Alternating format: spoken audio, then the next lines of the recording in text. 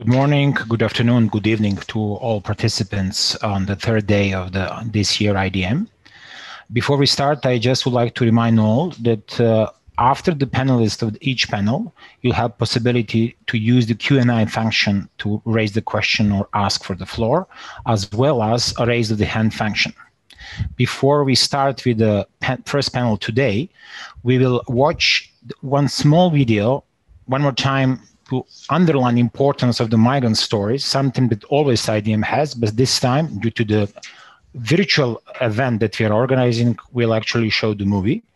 Under the campaign done by IOM IDM, what is Do Together, IOM.ent, where you can see a little bit more on those stories. This story is called Mila's story. That basically we learn a little bit more on the Marshall Island's problem on somebody who is on the front line and somebody who's actually feel what climate change can do to the migrant. Please go ahead with video.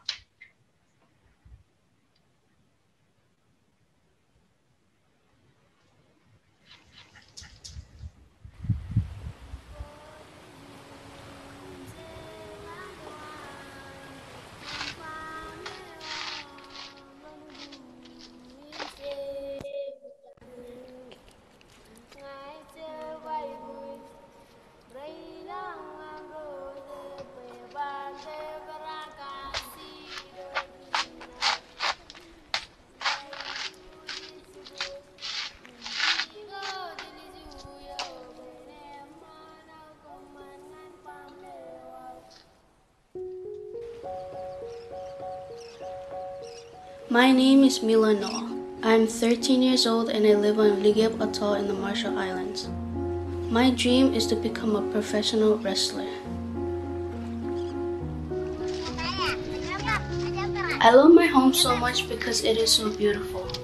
Everything in this place is good.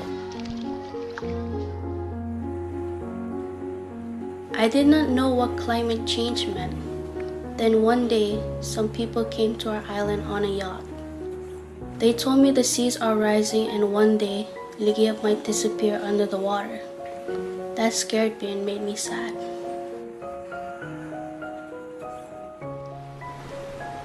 At my family's house, we have a seawall to help protect us if the water rises. But I don't know if it will be strong enough. There is a marker in the sea at one end of Likiep. When the tide is out, you can see where the edge of the land used to be. Now, it is underwater most of the time because the sea has eaten the shore away.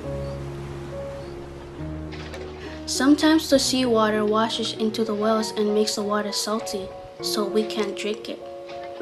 At our school, we have a machine that takes the salt out of the water, but we still have to be very careful how much water we use.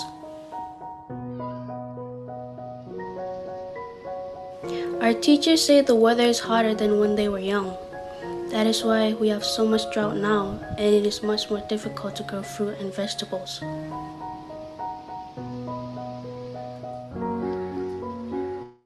Me and the other children in Likiep love to play together, climbing trees and swimming in the lagoon. And we love the animals that live here.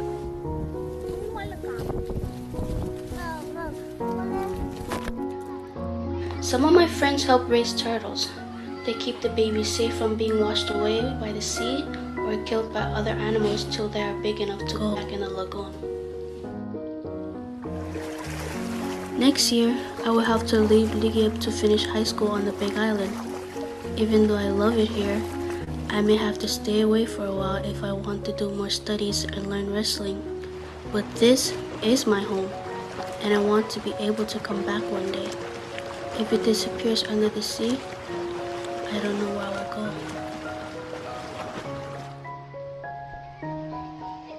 When I think about climate change, I know we all have to be strong and stand together. So the land is not destroyed and animals and people can always have somewhere to come home to.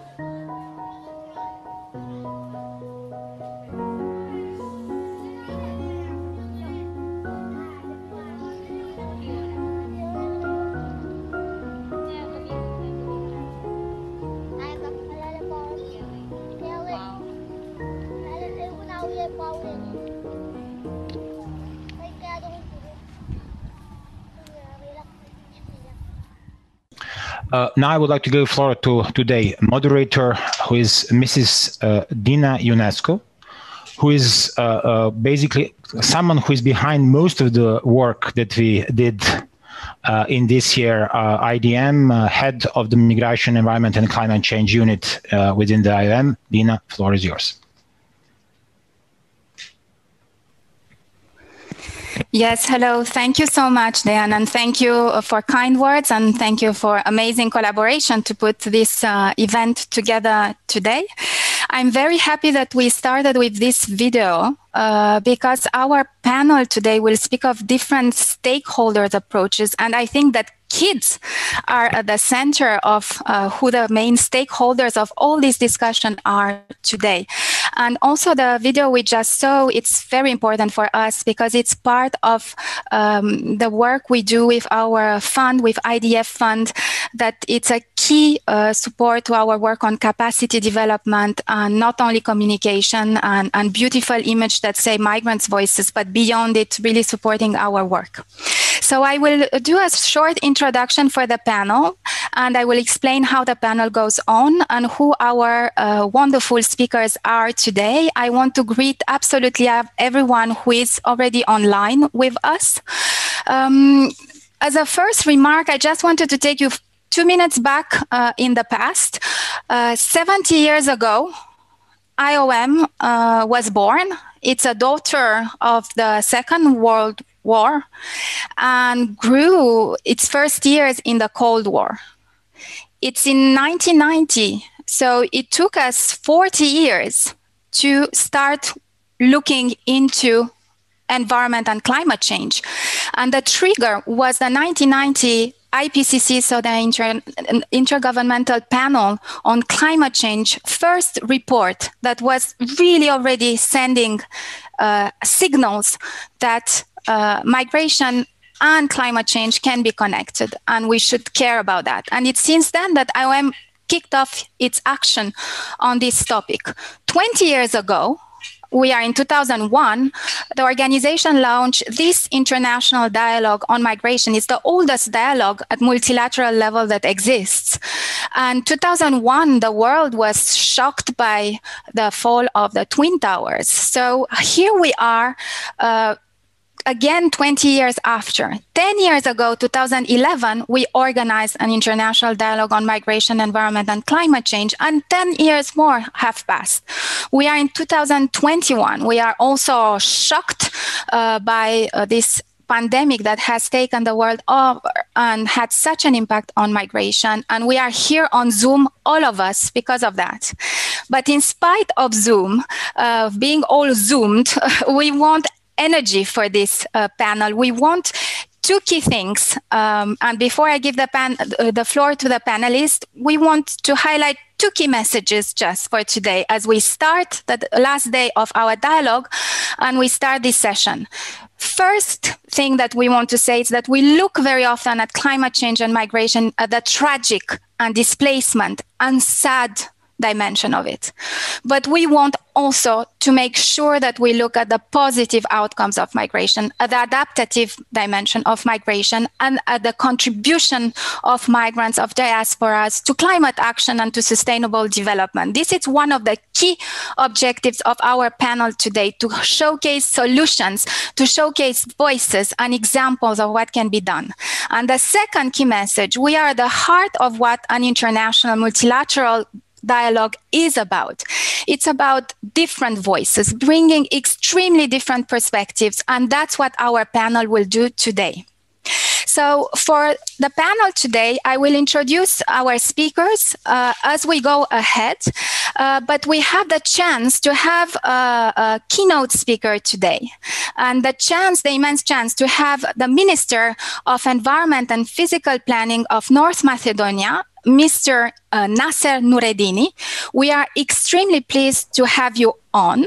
Uh, because I think I understand you also have a migrant experience quite strong in your own life. Uh, but also because we saw that your excellencies, you have key goals to drive really clean and green investments in the home region. And also to, to, to use your migration and cross-border experience to, to bridge the differences between West and East and bring everyone together. And I also understood that you have a very strong passion from green economics.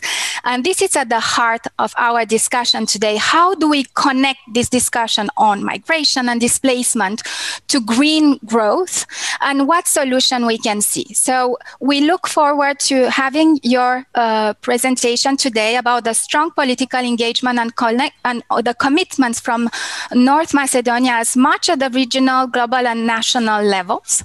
So um, we look uh, forward to this, I pass on to, uh, the, the, the uh, floor to you and give us energy.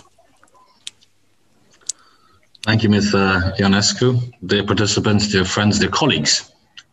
Uh, first of all, thank you for actually giving us the opportunity as the Republic of North Macedonia to participate in this very interesting, so to speak, uh, topic. And as the video so clearly stated, we're all in it together. It's not an individual uh, issue we're facing here.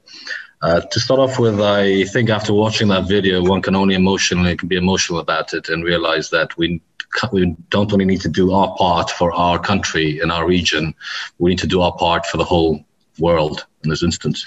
Uh, as we all know, and you mentioned, we've been zooming ourselves lately because of the COVID 19 pandemic, which has uh, been a very unfortunate event, and we've all been caught off guard in this event. However, though, thankfully, we have uh, the smartest people in the world working together for the first time to find a solution.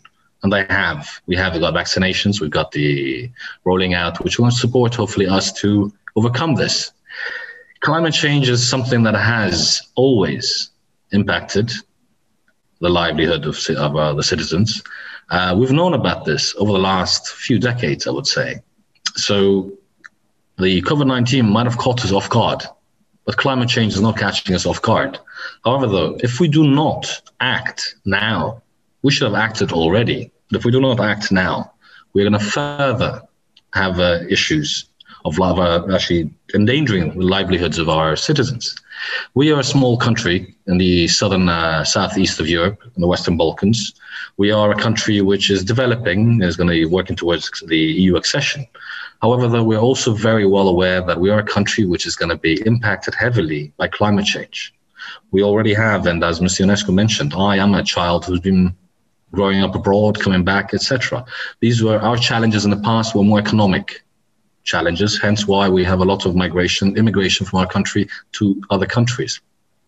As a country in itself, though, we are in the path, of course, of international migration.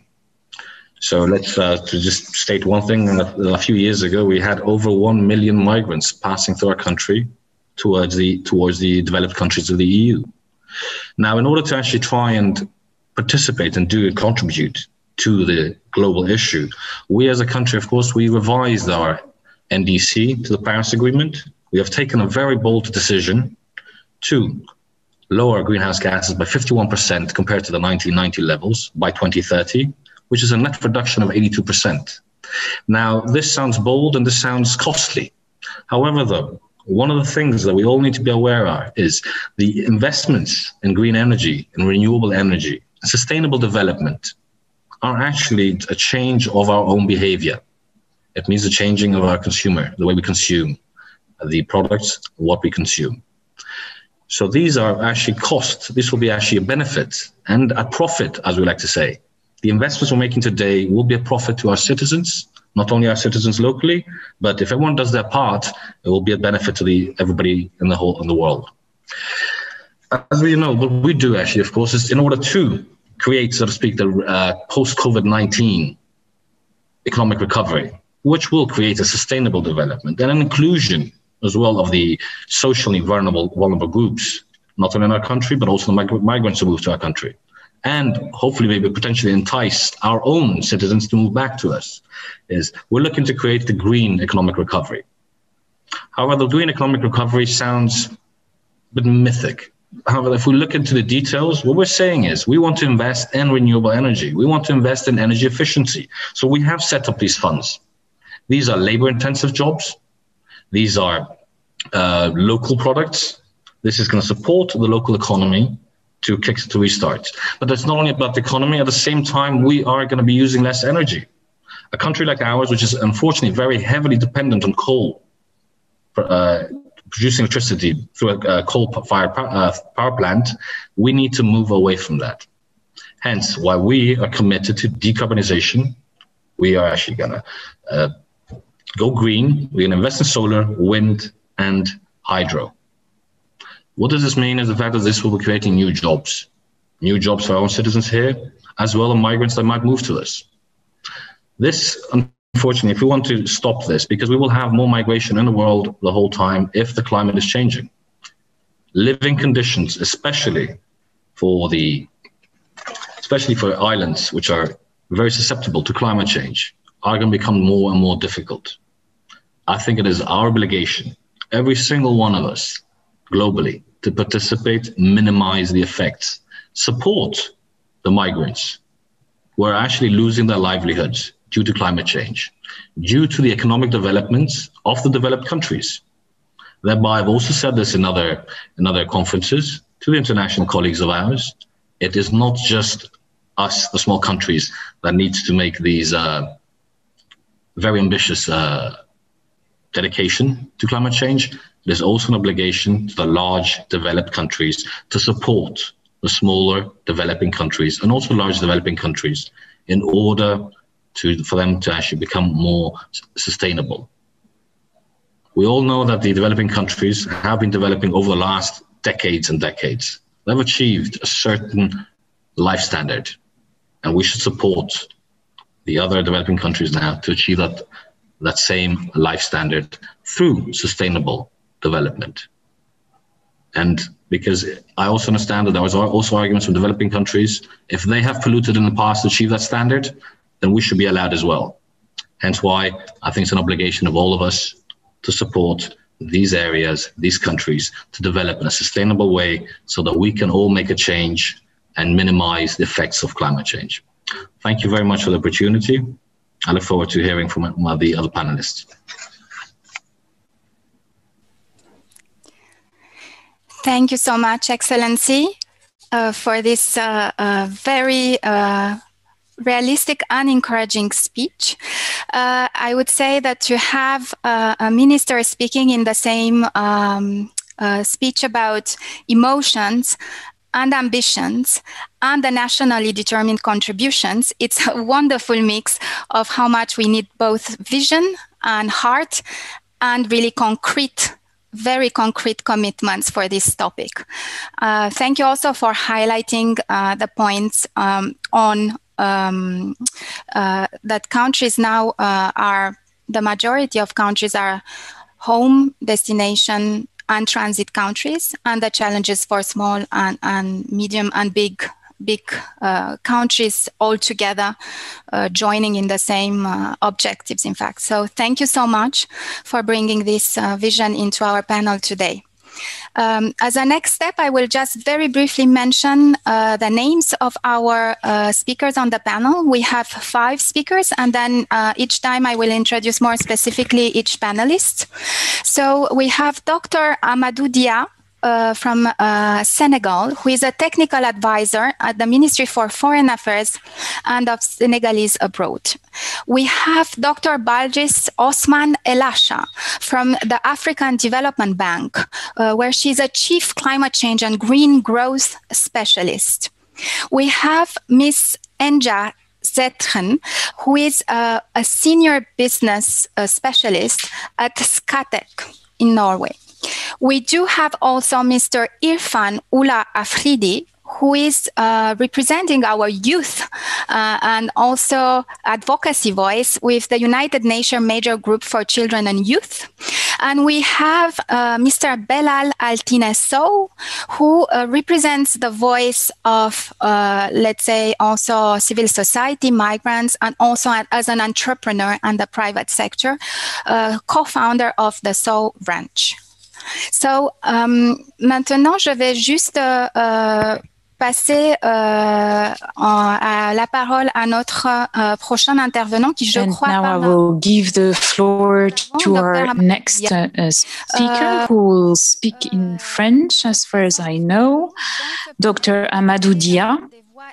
différentes et complémentaires. He's a, a, technical advisor. So in this panel, we really tried to have and to hear different voices. So, as a technical advisor of the Ministry of Foreign Affairs and Senegalese abroad,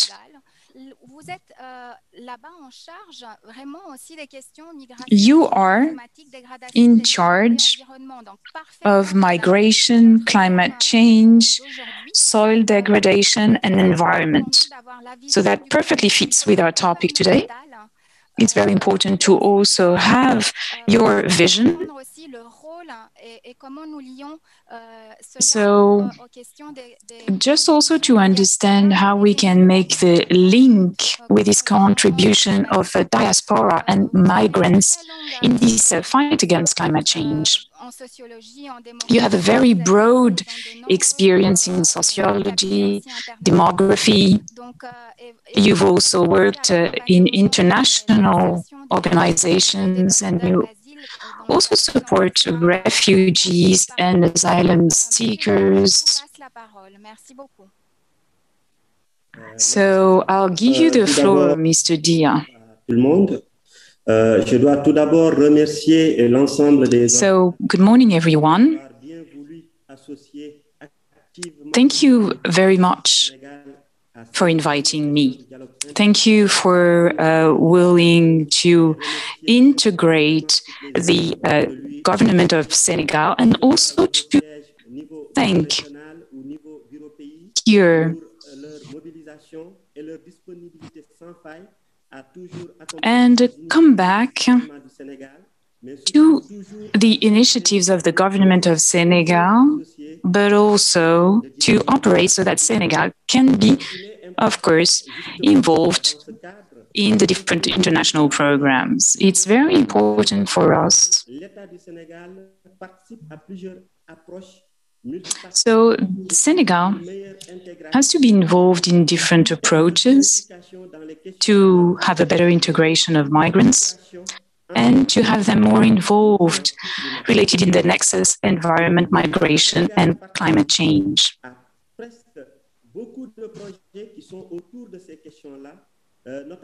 So a lot of uh, projects are around here.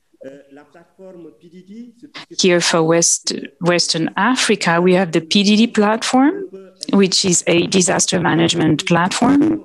It is a platform to include all the migrations in the local planning including civil society, to show how important it is to see if this can be done and organized.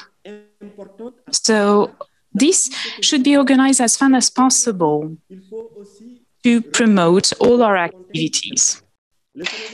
So it's really crucial to consider the uh, situation on the ground in Senegal, especially with regard to the climate work that is being done at the moment. Uh, we have one of our uh, key cities and, and, that are actually that is really at risk of uh, a, a, a severe climate change issue to do with rising sea levels. And we need to therefore look at the adaptation of our coastal areas for climate change. We therefore are really looking at uh, what we can do when it comes to our own uh, coordination efforts. When I was studying at university, I looked at the channel, the English channel, and uh, some of the coastal work that was being done on both sides, the English side and the French side.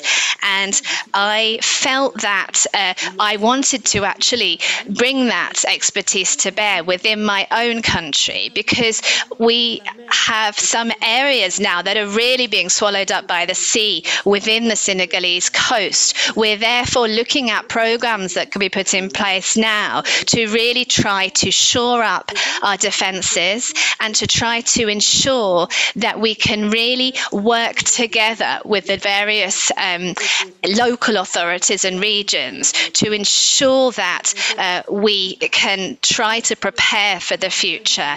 Imagine now what the situation is when we are looking towards the future. We can perhaps try to uh, really uh, launch this multi uh, stakeholder process so that we can prepare to give those who are going to have to move the best possible assistance. This is linked to uh, climate change and also what's happening in the Sahel region. We need to support our, um, our other governments uh, within the African region that are really facing some serious issues now. Um, along our frontier regions, we're now trying to work in collaboration, for example, with Guinea Bissau and uh, with other important uh, partners to try to really develop our own integrated approach to ensure that we can bring civil society organizations in to work with us and work with migrant associations also on a, on a national level. We really wish to uh, place the emphasis on uh, collaborative work now, working with all our various partners to see how different sectors can be integrated within our climate change work, and particularly with regards to um, the destruction of our land and the salinization issue. So we have a migration development and governance project now uh, at national level, establishing these links and these synergies. It's very important for us to uh, consider our various partners, particularly the EU, the Spanish government, uh, when it comes to actually identifying the needs of uh, migrants that we're actually um, dealing with in, in our country, and also uh, those who are now finding their livelihoods threatened, specifically to do with the fact that their land is getting um, increasingly less fertile. The Senegalese government have now succeeded in bringing in civil society organizations within our uh, departments working for uh, migration and also for climate change. We are working on our links with the private sector as well now, particularly uh, in international level, but also within Senegal itself to try to really underline the importance of this nexus. I don't want to go over my speaking time today, but I I'd like to just say that I'm very happy to answer any questions that you have. And once again, thank you again for this opportunity today. Thank you. Merci, Monsieur. C'est nous qui vous remercions euh, pour avoir réussi dans un. It's us that have to thank you, Mr. Diaw, for this very interesting uh, presentation and some very important messages, recognizing the voices of some of the most vulnerable countries when it comes to climate change is key. I think it's particularly important to. Uh, emphasize the issue of salinization and coastal defenses that have an impact on human mobility. Um, we have to really draw attention to good practices, I feel, with uh, the various organizations, migrant organizations, and others involved. And this issue of the private sector is very important. This is perfect for our panel today because we're actually going to uh, speak with representatives uh, from the private sector. Um, floor to our next speaker. So I'm also uh, extremely uh, proud that we have Dr. Balgis Osman Elasha with us.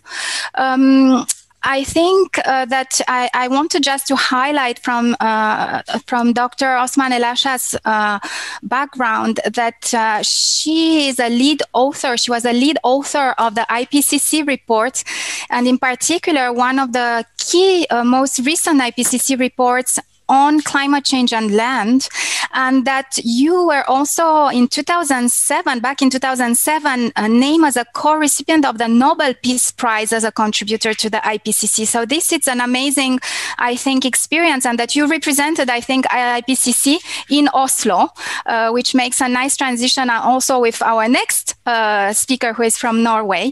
I know that you are a forester by, by training, and that today uh, you, you represent present um, in, in this dialogue as Chief of Climate Change and Green Growth Specialist and Regional Coordinator for North Africa Development and Business Delivery Center, the African Development Bank. So please uh, go ahead and many thanks again. Many thanks for you for the introduction and uh, thanks to the IOM for the invitation uh, to this very important dialogue um, and the chance also to shed some light on what the bank is doing in relation to uh, development and, and uh, green growth.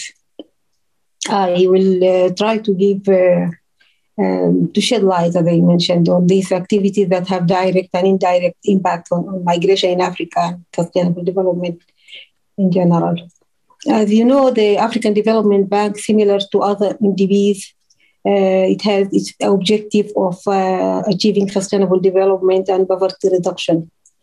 And uh, as such, it addresses some of the main causes of, of migration also out of Africa. And if we look at uh, development uh, simply as uh, delivering services, well-being, contributing to well-being and improving the life quality uh, we can appreciate the role of the bank and, and its efforts to address these uh, uh, issues and also try to uh, reduce the inequality in Africa because these uh, uh, activities are trying to be across different African countries and across the different societies. So this, the issue of inequality, as we know, is one of the of the most important factors that uh, uh, contribute to poverty in Africa. And Africa is also known as one of the world's most uh, unequal regions. Income inequality is very evident in, in, in unequal access to resources and opportunities between rural and urban, between men and women. And, and uh, the bank is, is, is uh, considering this issue uh, seriously. That is why the long term strategy of the bank 2013 2022 uh, focuses on, on two main objectives inclusive uh, growth and the transition to green growth. Um, so it's uh, one of the areas that I think it, it warrants uh, real attention. Um, in terms of, of uh, um, migration within Africa, it has always been a, an issue internal migration and, and external also out, out migration. And uh, the problem with, with, with, migration in Africa, especially the internal one, it's usually uh, out of the uh, production uh, sites to urban uh, centers. And without uh, real skills without uh, opportunities for, for, for, for getting uh, involved in, in manufacturing or industries. And instead, the migrants are always being uh, absorbed by the service sectors and the informal activities, which are uh, by no means uh, contributing to production. So this will aggravate the, the, the, the uh, economic problems and, and, and, poverty uh, Uh, problems in the countries and in the continents in general. So to overcome this problem, Africa has to become more industrialized and to, to improve its production capabilities as well as productivity across the natural, human, physical, and other capitals. And in contribution to address this gap and to achieve profound transformation of Africa's economy and to unlock the potential of its uh, citizens, the bank identifies five key priority areas, what we call high five, the high five. That is uh, feeding Africa through improved agriculture and agro-industries, uh, powering and lighting Africa, industrialize Africa, integrate Africa, that is promotion of regional integration, and improve the quality of, of the life of Africans, especially poor uh, women and, and young people. And, and uh, to achieve lasting change for Africa, we need to focus on the youth, of course. As you know, Africa is uh, continue to be like uh, the, the continent with, with, with the with the most uh, number of youth globally. Uh, the youth in Africa represent a large, uh, more than 60%, and also uh, globally, the, the, the, the number will uh, be up to maybe one third by 2050 uh, of the global youth in Africa. The problem with that, African youth are also escaping, escaping poverty through migration. And uh, poverty because of, of, of many factors. Some of them are related to climate change, others related to uh, unemployment uh, opportunities. So, um, out of, of 13 million youth that enter the labor market in Africa each year, only 3 million gets job. That, is, that means 66% are not employed and that not, they are not contributing to economic activities. and, and they, they, they were left with no option but to, to, to migrate. That is why migration trend in, uh, to Europe is still like uh, embarrassing for Europe and for Africa. Uh, the bank identified that the lack of employment opportunities uh, for African youth is one of the most critical policy challenges of our time. And so the bank developed the Jobs for Youth in Africa strategy. The strategy, strategy selected three flagship programs as a priority areas. Uh, it's uh, agriculture, industrialization, and ICT. And uh, based on this, it launched a, an initiative jobs for youth in Africa. This uh, initiative targets the, to keep, equip more than 50 million youth with employable skills and create 25 million jobs in agriculture, ICTs, and other related industries. Uh, the bank will, will work through this initiative to help mobilize 3 billion, 3 billion US dollar to support the young inter- entrepreneurs in Africa, uh, focusing on business incubation and it will facilitate the establishment of a skills enhancement zone. This is a, the an enhancement zone that will foster better linkages between skills and industrial development. Uh, some examples of these programs are the in agriculture, for example, is empowering novel agribusiness-led employment, abbreviated as Enable Youth. It aims to help uh, African men and women to incubate and scale up their agribusiness. As of now, the program is implemented uh, in, in, in 11 countries um, across Africa. And there are room for more. It's uh, a total investment of around almost 900 million US dollars. Also, the program is uh, uh, supporting the ICT Center of Excellence in Kigali. This is a joint initiative between Kigali Institute of Science and Technology and, uh, and Canadian University so the bank provided like 40 million US dollars to support this and to have like a second uh, generation of, of uh, uh, generation of computer experts in Africa. The bank also supported the establishment of digital technology parks in Senegal and Cape. Uh, coming to the uh, issue of climate change and green growth, and we know that climate change is a threat multiplier for Africa. It is Africa considered as one of the for the most uh, vulnerable continents. So um, the, the, the, banks put as a main objective to uh, ensure climate resilience and, and, and, and low carbon development in, in Africa.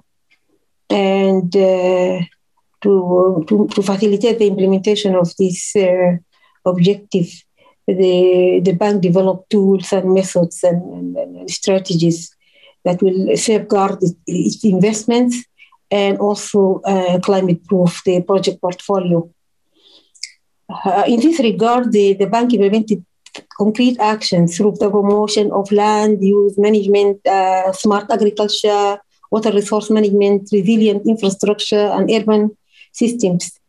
Also, the bank financed uh, the the, the, the, the, proportion of climate finance in the bank portfolio uh, kept increasing uh, from 9% in the, of the total portfolio in 2016 to 36% uh, by 2019. And now the aim is to have 40% of the portfolio labeled as climate finance by, by the end of this year, 2021.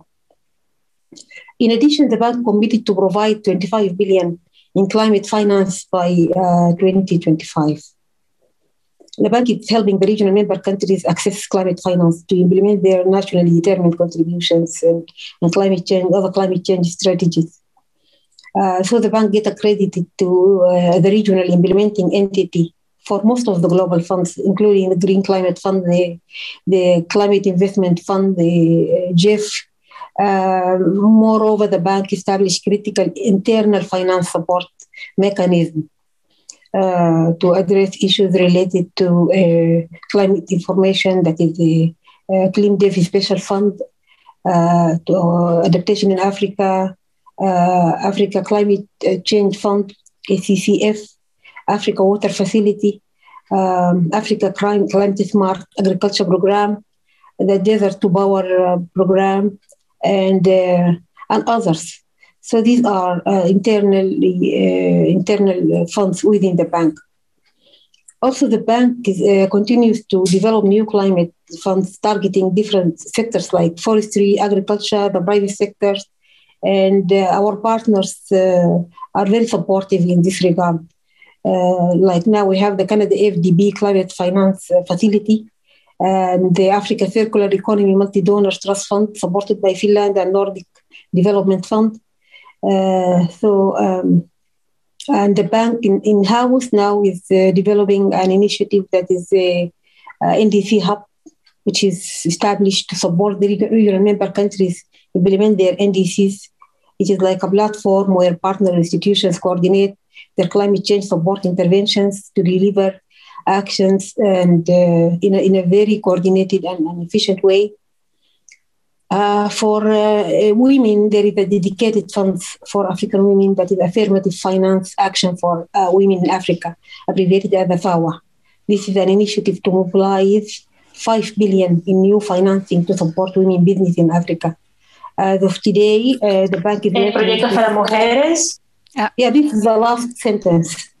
Working with 24 financial institutions in 15 countries and uh, within this of our program and it's expected to expand by uh, rapidly by 2022. Thank you. Yeah.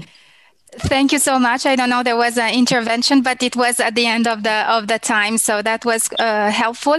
Thank you so much for bringing this um, very complete. Uh, intervention to this panel.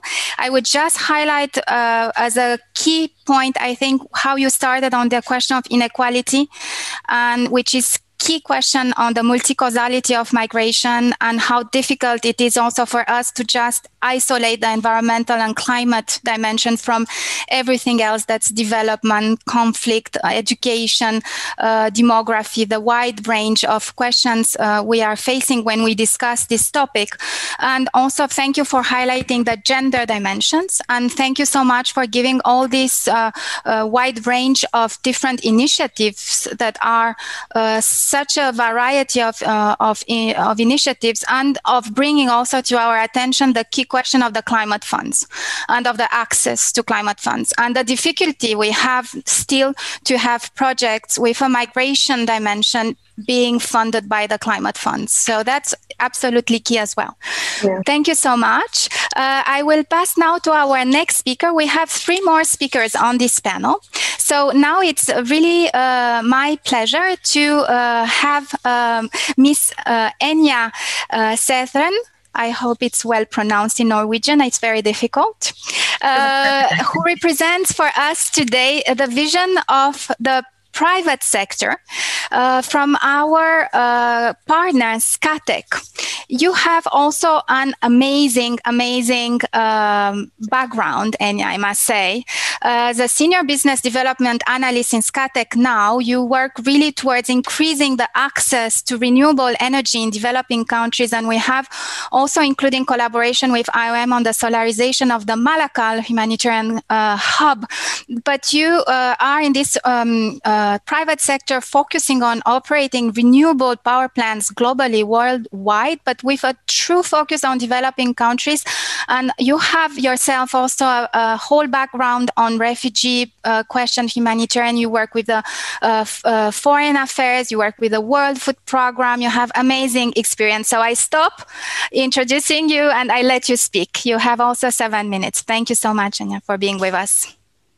Thanks so much, Dina, for that kind uh, introduction. And first of all, it's very inspiring to hear uh, about the green ambitions of both North Macedonia, Senegal, and the AFDB.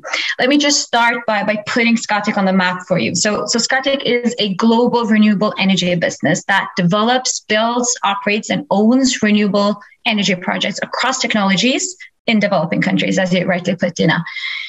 And what we do is becoming increasingly important around 800 million people do not have access to electricity globally, of which 615 million people live in Africa.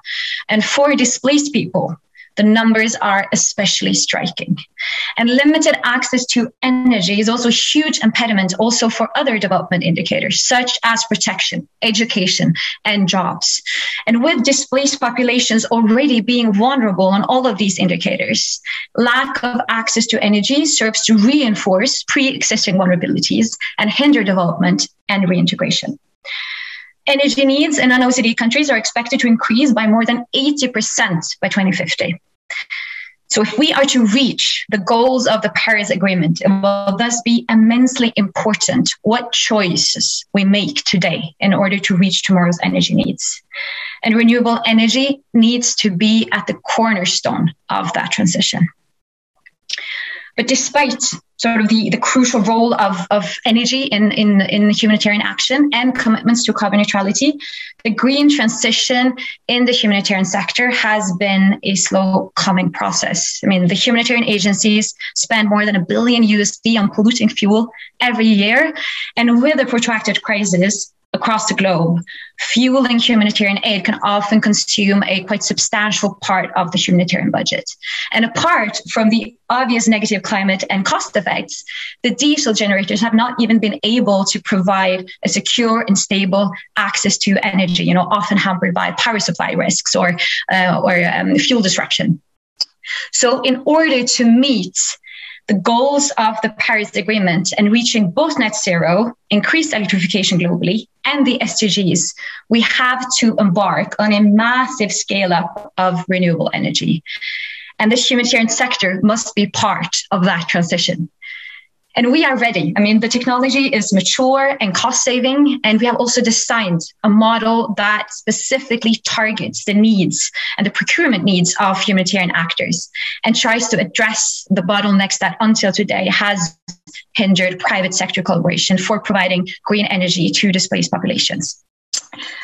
And our solution is Release. And I'll tell you why replacing fuel with solar and battery will both reduce emissions save cost, and ensure a reliable power supply.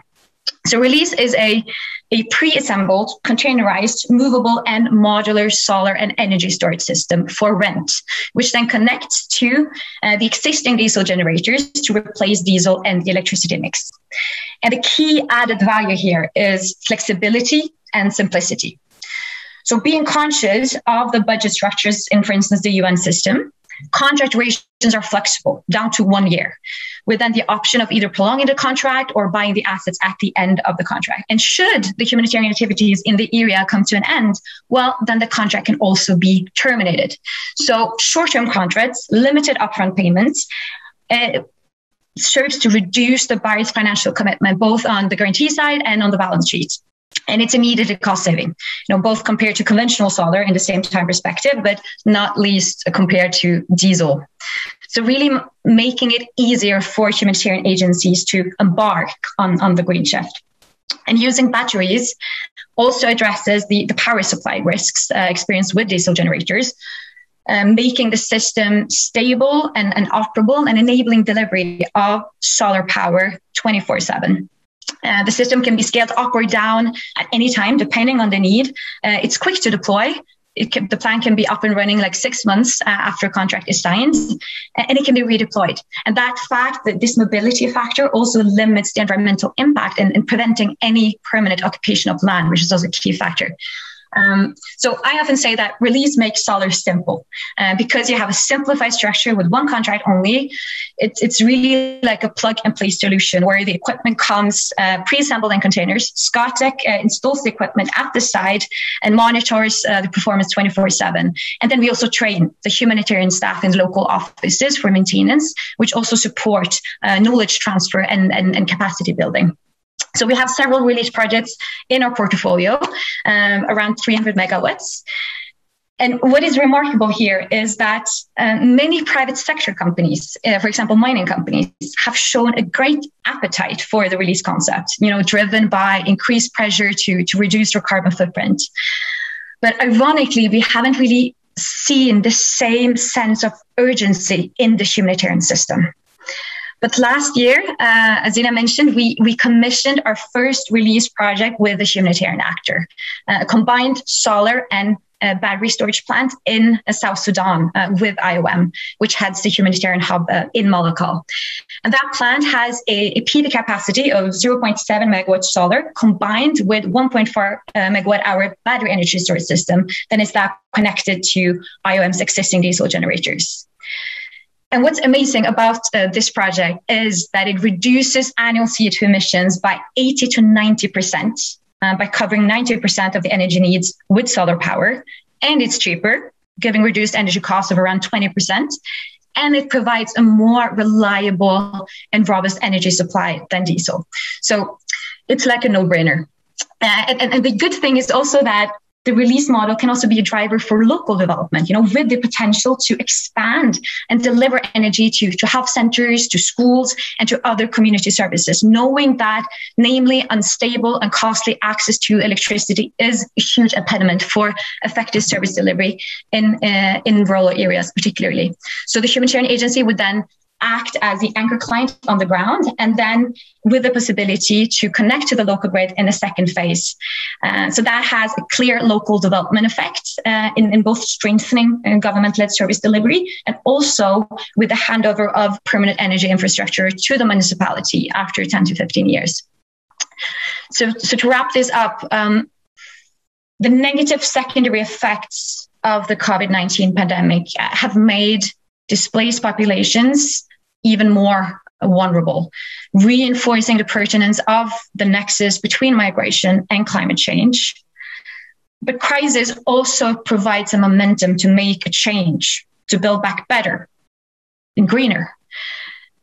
And it's time to for the humanitarian agencies to, to start monitor energy use, to set emission reduction targets and, and cooperate with renewable energy suppliers. And I think also donors setting clear requirements on uh, to reduce fuel costs and emissions and, and DFI is playing an important role in providing financing and guarantee structures all of that can also help sort of spark that change.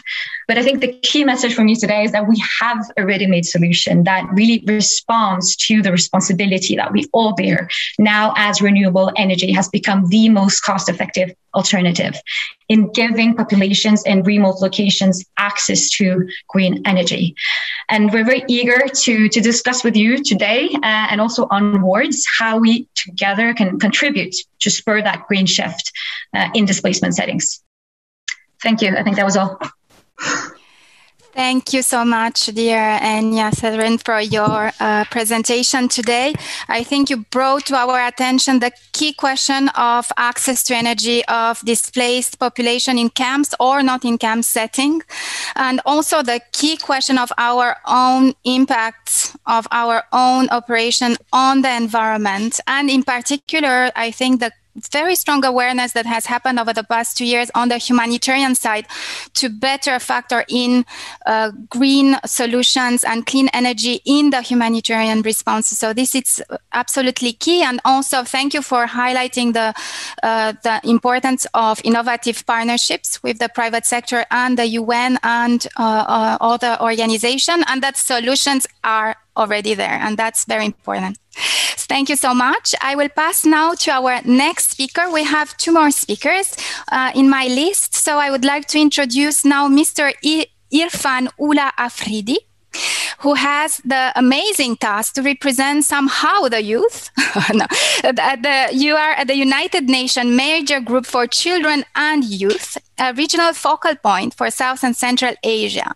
And I know you are also a humanitarian and DRR practitioner, researcher with the United Nations University with the Institute for Environment and Human Security.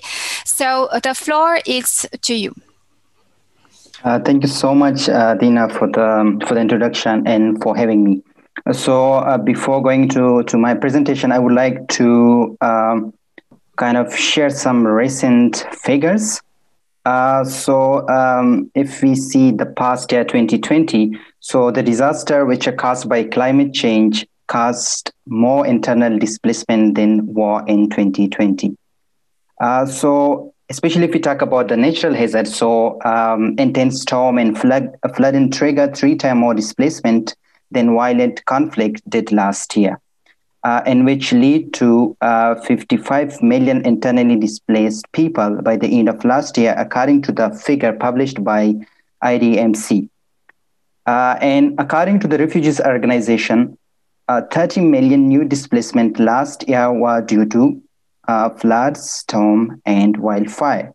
So, which is somehow clearly showing, highlighting the impact of climate change. So, whenever disaster occur, young people or children uh, are found to be present or third of the victim of disasters. And youth are not just passive victim, but youth can react more flexibly and resiliently to dramatic changes as compared to adults. And despite that, young people can play an important role in protecting and improving the environment.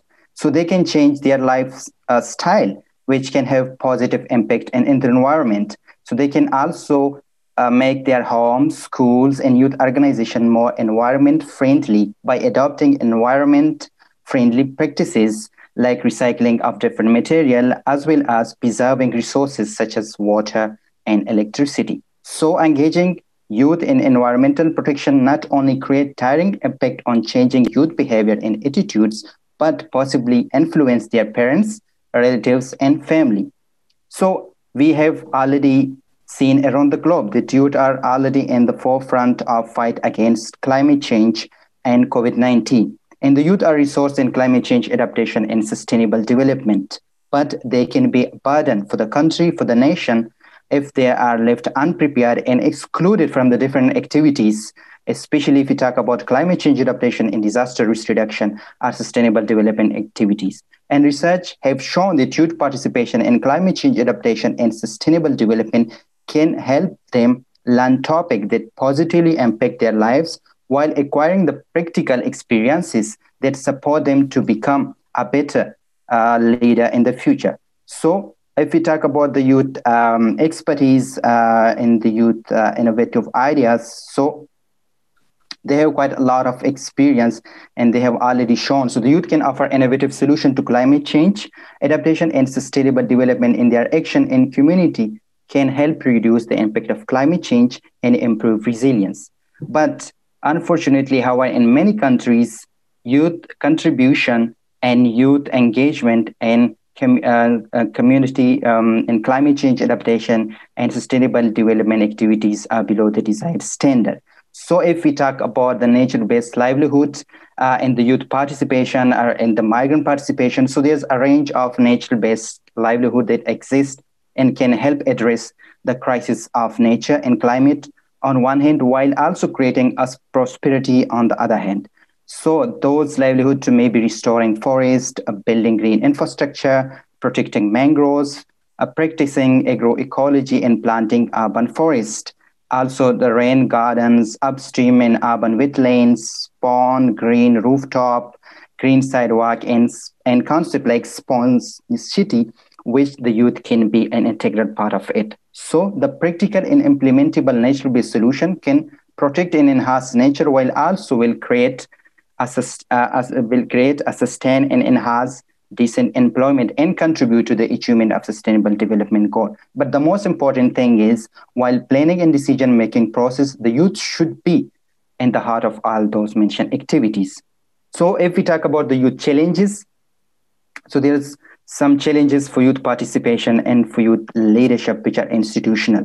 And they in, uh, and it's include lack of proper platform where youth can come, can exchange their ideas, and can somehow give the practical shape to the innovative idea which they really want to implement. And there is also capacity building, less of uh, capacity building issues, and especially if we talk about awareness in education and climate change adaptation. So there's also uh, a lot uh, need to be work to build the capacity of youth. And the most important, youth recognition is a key contributor. And other challenges also include tokenism and sufficient transparency in many countries and bureaucracy in many countries are preventing the youth to come uh, and to play the role which they want to play. So uh, institutionalizing meaningful youth engagement increasing coordination between the different organizations working with youth and also on climate change adaptation and disaster risk reduction. Most important investment on youth, especially on their education and capacity building, and access to the finance could be the possible solution to enhance youth participation and sustainable uh, youth participation in climate change adaptation and sustainable development. So, to wrap up, today displacement crisis arise from many interconnected factors, including climate, and environment change, conflict, and political instability. So the world has been made more fragile by the COVID 19 pandemic, and sustained political will and investment and locally owned solution will be more important than ever. So if we talk about to build far better and greener, so youth should be put at the heart of the greener COVID recovery. And as rightly said in the video in the beginning, do the right thing. So let's come together. So let's work together. And working in the silos will not work anymore. Thank you. Thank you so much for your intervention. It shows the amazing richness of migration experience, in particular for youth and children, in the positive and in the negative, and the inclusion, the exclusion issues, and how much youth is the driver for change, the driver for for climate action. We see this at the COPs. I look forward to COP uh, for the youth uh, intervention. Most of the times, I think it's the, the, the strongest voice coming up. Uh, you mentioned also the challenges of bureaucracies, and youth are the future leaders. So it's also about how you see the way they can advance and, and be included and, and contribute to, to, to the sustainable development. So thank you so much for, for your intervention. This was great. And now I will pass to the last speaker. Je vais repasser euh, au euh, français.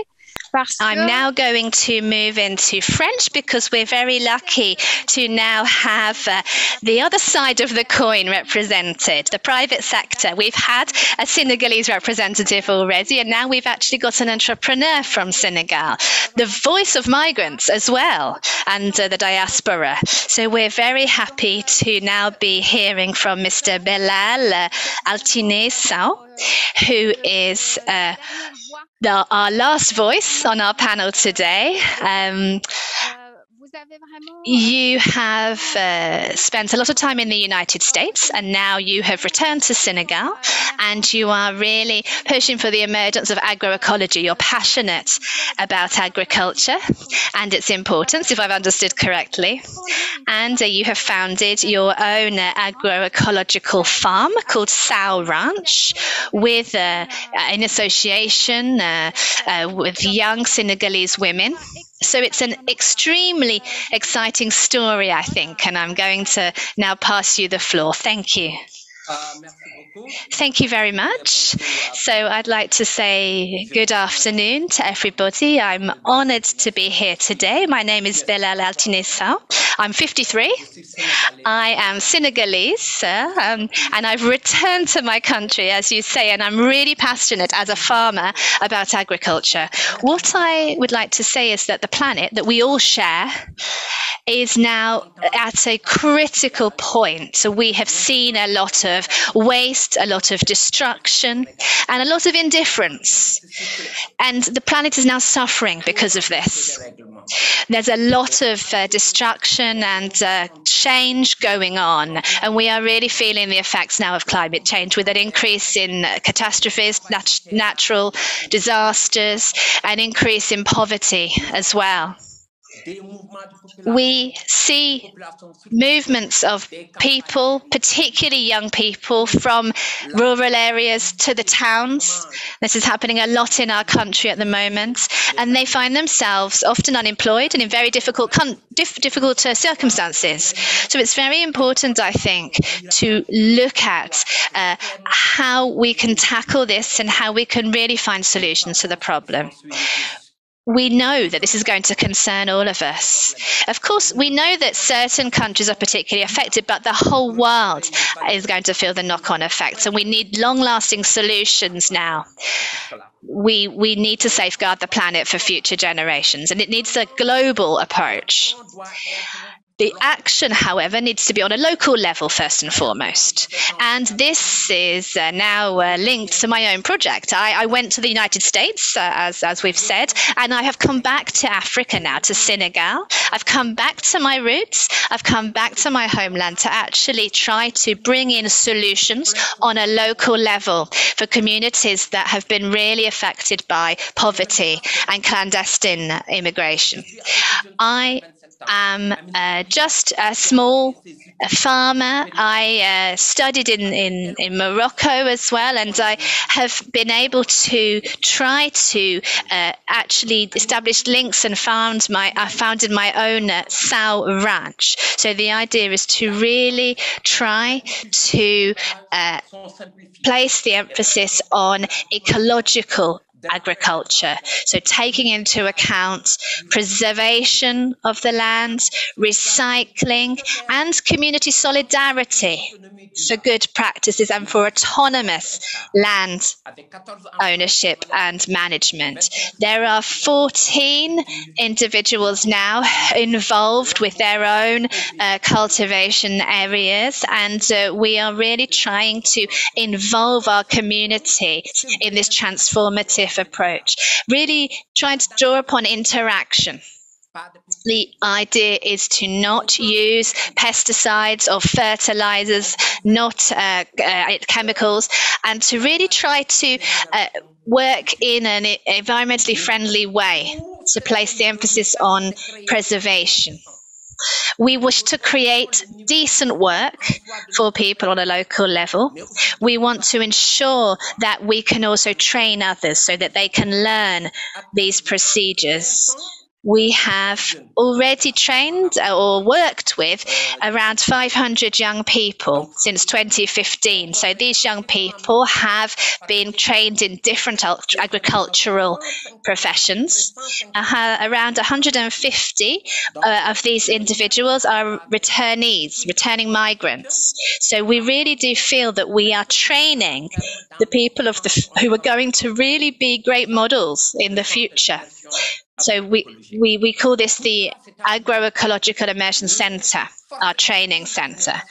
It's a, a great initiative, but I don't think it's enough yet. I think we really need to have an even more inclusive partnership. We need to really try to scale up our training as well and scale up our uh, linkages with other organizations to try to really tr- to establish more of a rapport with uh, communities and with uh, other um, organizations. It's important to continue our uh, awareness raising work. I think this is crucial to really crown our successes and our efforts. Young people must be involved. They must be able to have possibilities and opportunities to develop their own initiatives. They must be given local development opportunities. And this must be with a view to trying to avoid people leaving as uh, clandestine immigrants. Local authorities, local communities must work in synergy with young people to really look at long lasting local impacts. It's very important, I think, to really place the emphasis on young people and to follow up on these trajectories over time as well. We have to really try, therefore, to uh, make sure that those who are going to continue to work the land into the future have the skills and have the, the possibility of making their livelihoods sustainable. We need sustainable solutions. We need to make sure that these solutions will be safeguarded for generations to come. These future generations really need to have respect for their lands. They really know, need to know how to treat it well. Soil is a key issue. We've seen so much soil erosion and salinification, and we have to therefore try to spread environmental knowledge on this issue and ensure that young people and young farmers can follow good examples in their practices. We've looked at soil contamination as a key issue and been working on trying to neutralize this, trying to tackle this we feel that we can really be effective when it comes to breaking down barriers as well. If we work in this approach, if we try to really place the emphasis on awareness raising and that link between climate change and poverty and the loss of livelihoods. I feel this should be a way forward to create green employment. We need to try to really uh, reason and, and think better about how our agricultural industries are working, try to rethink our food systems so that we can filter this down to the most local level, but create synergies also between countries. This huge difference between the northern countries and the southern countries needs to be overcome. We need to create more partnerships on all the levels. All communities are humans. All communities share human concerns, and all communities share our planet. We all need to be able to work in symbiosis, therefore, and we all need to work on sustainable development so that Africa can find its way forward for the future, so that this clandestine immigration ends. This is crucial, and this is what I wanted to say to you today. Thank you.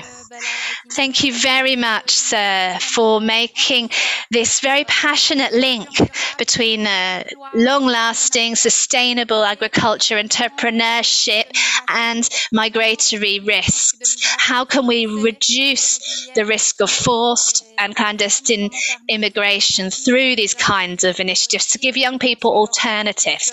Placing the emphasis on this local dimension. We're going to talk about this in the next panel, actually, so it's quite a good segue, I think.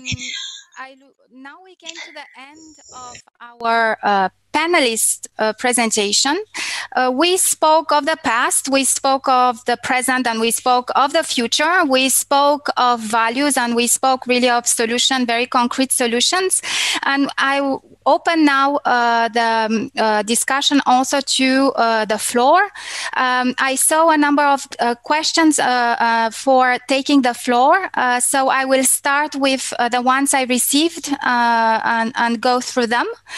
so I have first a request from our Deputy Permanent Representative of Ecuador, Mr. Alejandro Davalos. The floor is yours.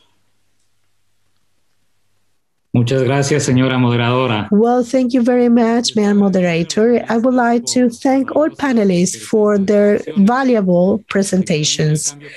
Climate change effectively um, aggravates all the threats that uh, motivate people displacement, increases poverty, and also intensifies the pressure on our resources as well the possibility of conflicts and violence. Therefore, we need to take urgent measures to include migration and uh, climate change adaptation and mitigation in our debate. To this end, we need to strengthen migratory policies both at national and international level, as well as strengthening cooperation, especially regarding climate financing. We had to ensure that all strategies um, against um, climate change and climate change actions have people and people mobility in mind. Therefore, the Global Compact for a safe, order, and regular migration is a key framework that would allow us to optimize the benefits of migration, as well as address the risks and challenges presented by climate change and natural disaster.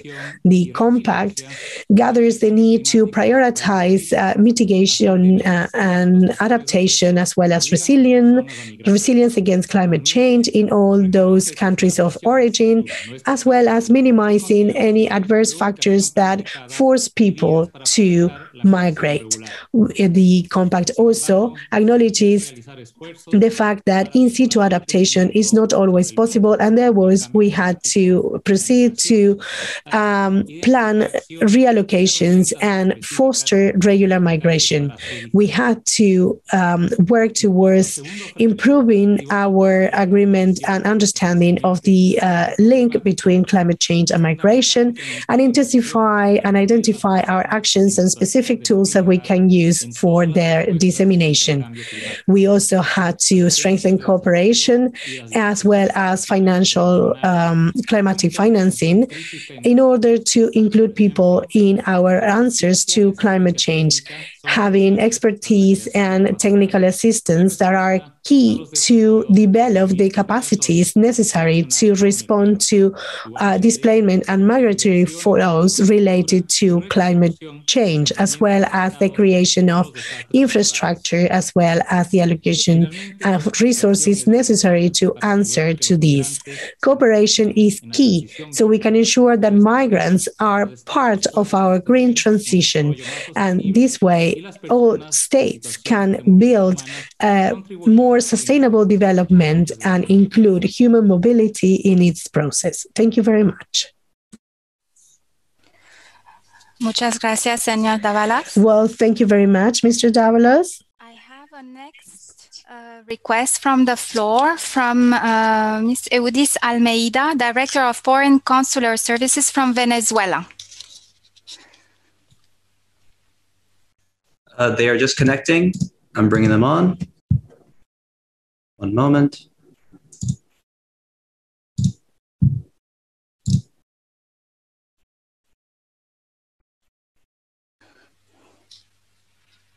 And it's Mr. Eudis Almeida, sorry. Uh, we cannot hear. Hola, him. buenos días. Buenos días, buenas noches. ¿Me Well, escucha? good morning, good evening. Can you hear me? Yes, we can. So, in this very important forum for international dialogue on migration, environment, and climate change, I would like to celebrate this initiative and extend the greetings of our constitutional president, uh, Mr. Maduro, and Jorge Arreaza, our um, Ministry for Foreign Affairs. We want to uh, thank the IOM for uh, creating such spaces for debate.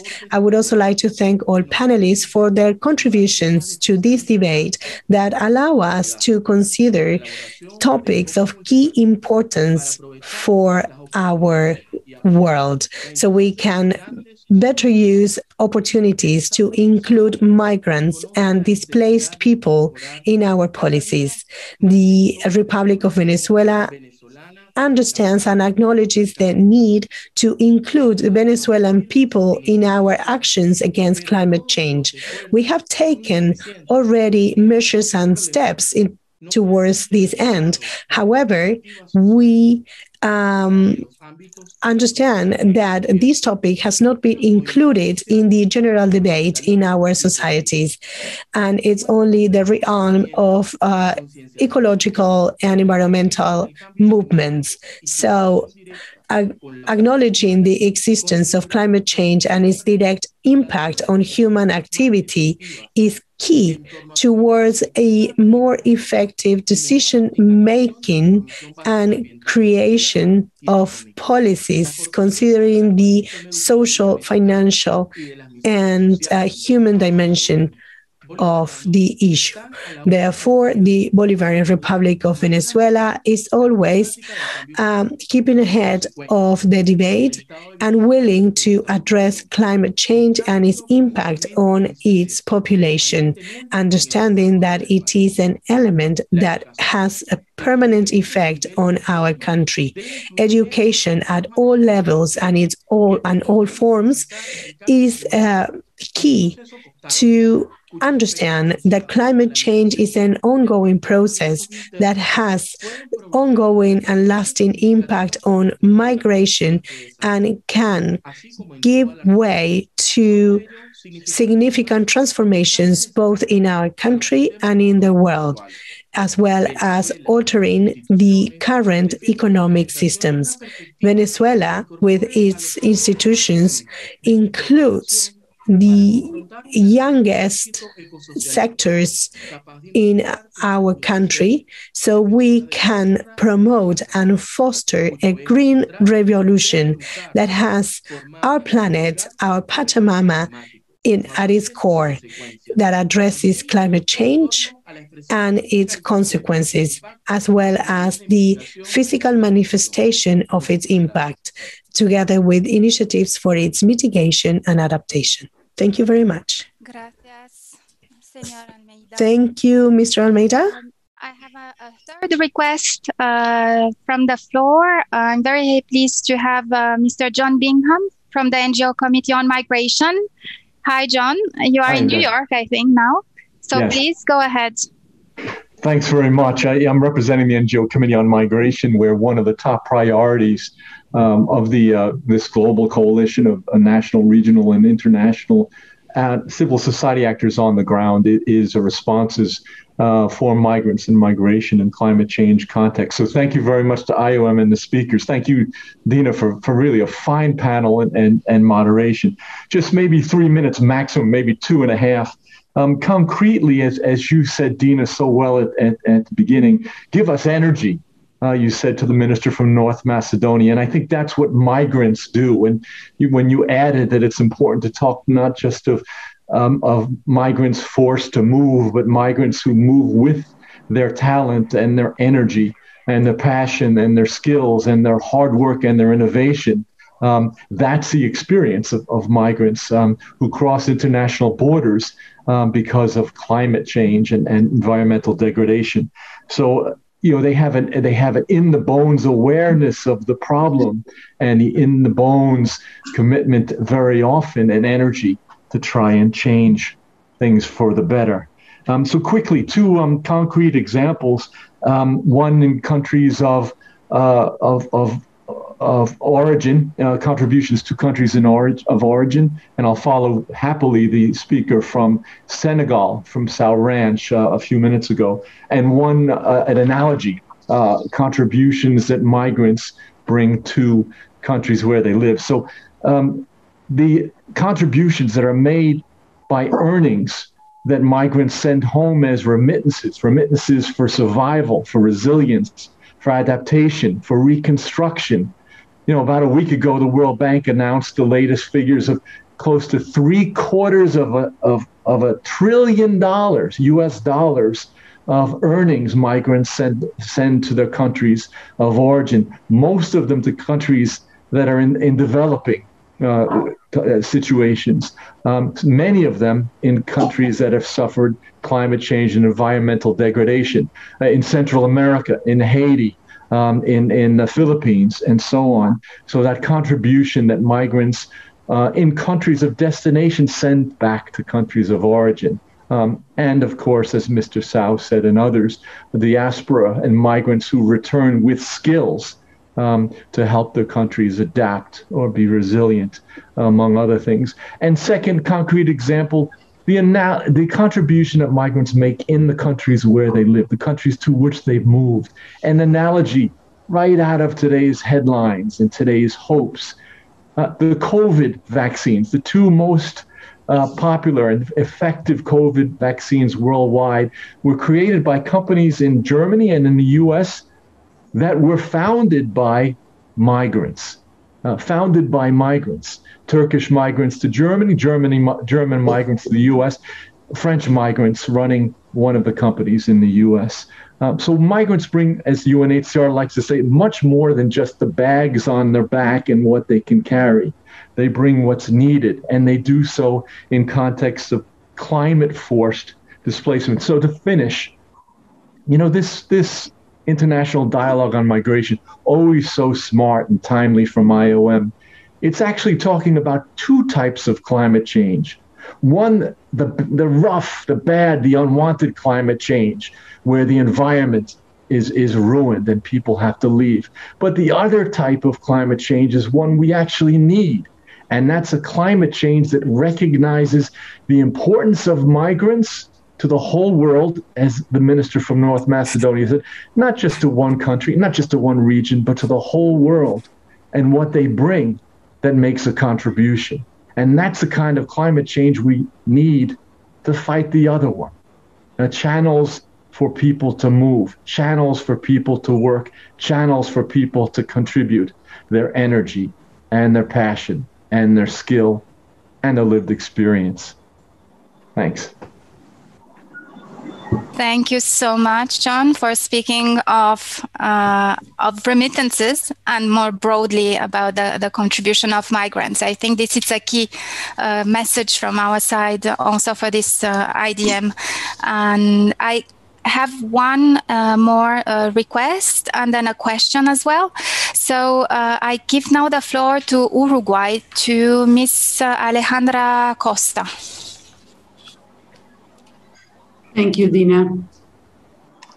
Uh, yeah. We can, yeah, we can hear you.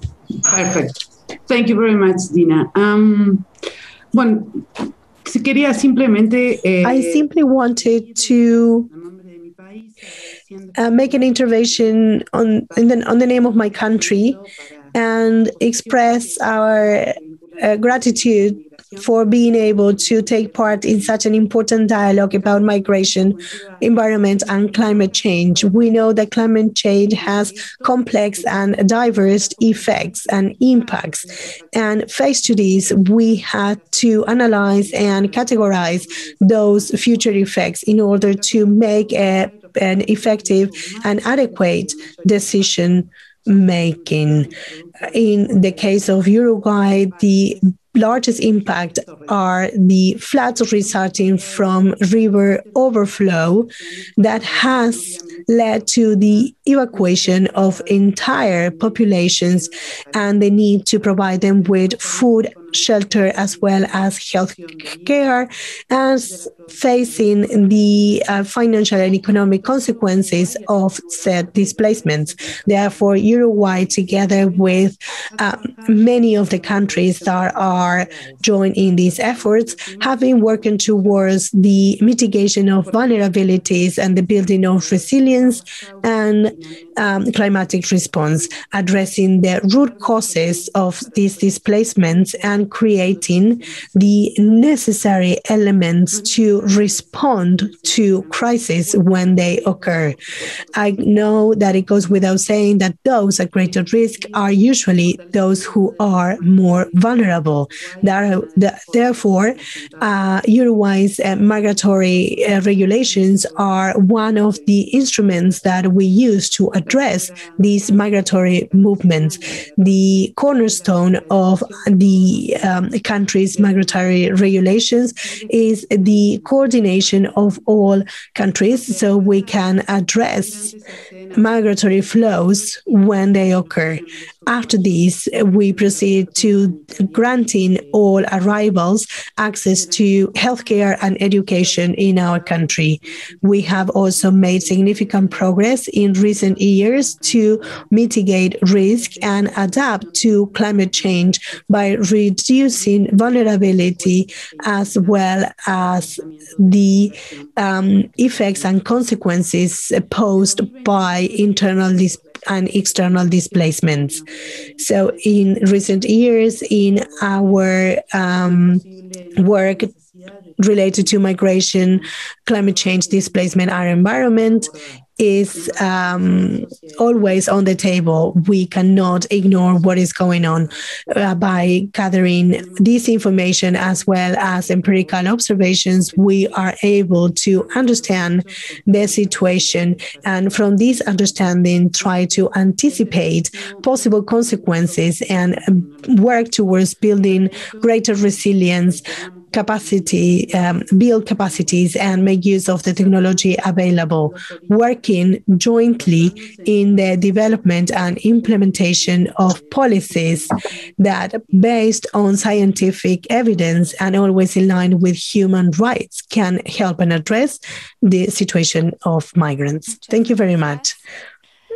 Well, thank you very much. I'd like to really uh, highlight and thank Ecuador, Venezuela, and Uruguay for the last uh, interventions that really bring your region also into the discussion very strongly and highlight how vulnerable the region is and how many uh, original and innovative policy and practice uh, uh, options are put in, in place in your uh, in each of your countries. I have one extra demand now from a completely different region of the world, from the Philippines, from uh, Mr. Albert Magalang. Uh, your, the floor is yours. Thank you very much, Madam Moderator, for giving me this opportunity to share the Philippine views on how to develop multi-stakeholder approaches, and uh, which would include other uh, uh, especially the private sector, and also to uh, how to um, in, um, ensure that there will be support for the in- inclusion of migrants to build a sustainable future.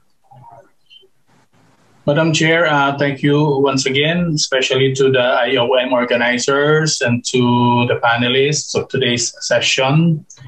And uh, once again, for the uh, thank you for the opportunity for giving the Philippines the this time to share uh, our thinking on multi multi stakeholder collaborations to ensure that migrants are provided opportunities to be productive and self sufficient despite being severely affected by climate change, environmental catastrophes, and socioeconomic drivers like conflicts. So the coming together of various groups for purposes of producing a multi-sectoral outcome that addresses unintended impacts like migration.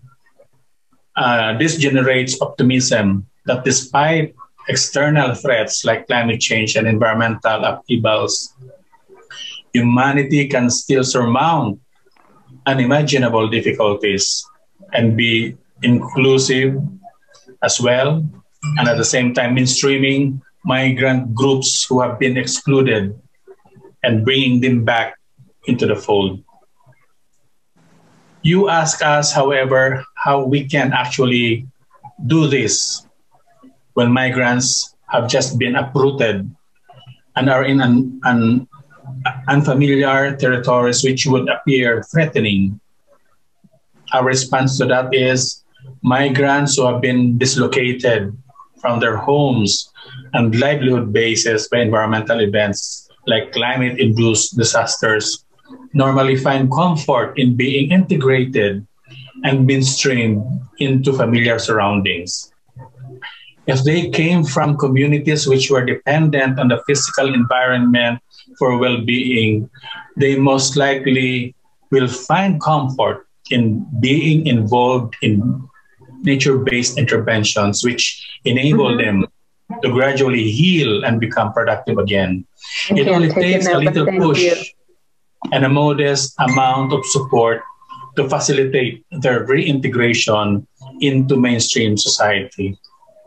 Whether in land or water undertakings involving migrants in nature based undertakings, we think is the fastest way to heal from trauma.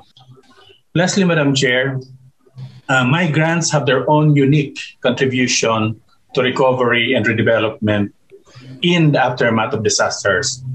So they must not be treated as outcasts, but mainstreamed into society as soon as possible. In fact, they should constitute part of the recovery plan saying that they are almost everywhere, and most of them form part of the regular working force in almost all countries. And lastly, Madam Chair, this mainstream consideration and treatment of migrants is as true for any natural hazard event as for human induced ones that create displacement like the COVID 19 pandemic. Overall, the biggest resource for recovery are people, of which migrants normally comp- comprise a considerable portion. Thank you very much, Madam Chair. Thank you so much for speaking for the Philippines.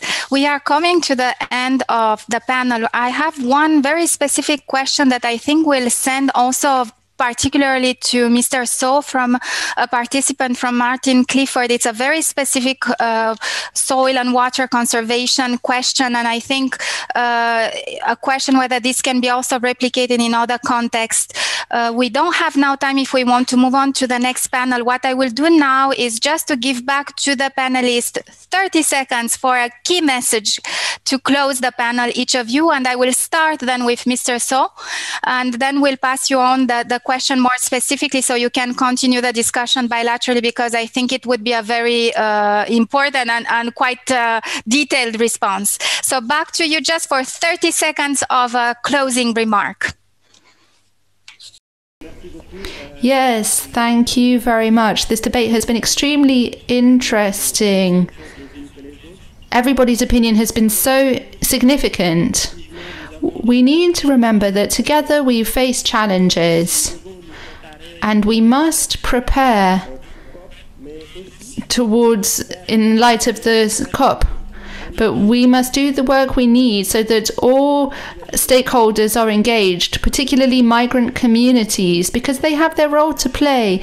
They have a voice to be heard, and it is up to us to create conditions that enable them to express themselves. I really liked my colleague's discourse, he talked about very important points, things we are not usually eh, used to hearing. This framework helps us to hear voices we do not usually hear, and this allows us to change our perception, our vision of things, because we have much to learn from one another. This is in the collective interest of the migrants. Migrants have concerns. They know what they've gone through and they have needs. If we can meet them together, we can find solutions to meet their needs that are so legitimate. We need different regional frameworks and different dialogue frameworks which will help us to socialize together on these important issues. Because we're really all going in the same direction. But if we do not work together, we cannot learn to work as a collective in a positive manner in the interest of the migrant communities. Thank you very much once again for the opportunity that has been given to us so we could together share these concerns and hopefully we can all progress on such important issues. Yes, thank you. We will not hesitate to call upon you. You can be sure. Thank you once again, Mr. Diaw. I will now give th- the 30 second challenge. Challenge, uh, uh, Miss Osman Elasha. One key message. Okay, thank you. Thank you very much. Um, I think, uh, yeah, on a positive uh, tone about migrants, I think they uh, migrants they they, they maintain uh, links with their uh, countries, and they are they, they really care and they like to share what they gained. So, and this is very evident. So they create this type of, of networks during uh, crisis and they uh, mobilize resources. Uh, we have seen this during uh, the recent Sudan revolution. We have seen it during uh, some of the um, climate change related floods that um, was very destructive in many parts in Sudan. we saw them um, uh, mobilize resources and, and sending uh, back home. So, um, I mean, uh, this, this kind of networks that can um, be uh, formed um, seasonally or uh, on ad hoc basis could, could be uh, more um, utilized if a strategy to to make use of the of these uh, the migrant capacities, their their, their uh, finance uh, financial support to um, to have like kind of adaptation projects, something that is sustainable, not only um, on on relief like on crisis, but something that will uh, link them more to their homes and also having a sustainable impact. Thank you. Thank you so much. Message well received. Uh, Miss Enja Saethren, 30 seconds key message. I'll speak very quickly. So, first of all, I think the discussion today shows that there is a shared understanding for the need to scale up the shift in green displacement in, in, displacement settings, and I think that we all have a role to play here. The private sector can bring in the technology and the competence. Humanitarian sector has the local knowledge and understanding of needs for for operations and, and for the vulnerable populations they support. And what we share is, of course, a very strong commitment to the do no harm principle, which I think should imply that also humanitarian actors take steps to reduce their carbon footprint in their host countries. And then just the last comment, if we really want to scale this up and scale up the green transition, I think that also DFIs like the Africa Bank and IFC can also play an important catalyst role. And especially when there is a local development factor here, uh, I think that should be very much aligned with the core mission mission of theirs. But the key is that from a climate perspective, we start to run out of time. I mean, we're nowhere close to reaching the goals of the Paris Agreement, and we really need to accelerate the shift. And the point is that a value proposition is not really proven before you can actually show that it actually works. So I think it's important now to feel that urgency and find flexible ways of implementing more green projects to build that legacy. And that is what we've done with IOM in, in South Sudan. And we demonstrate that this works. Thank, you, Anya. That's a, I love the last words. It shows it works. Uh, thank you so much. 30 seconds, Mr. Irfan Ullah Afridi. Uh, yeah, so my main um, message, uh, uh, you can say the main theme would be uh, to build for a better and greener. It's the time um, of transition from effective youth uh, participation to effective youth leadership. So listen to us not just work for us, but work with us. Thank you.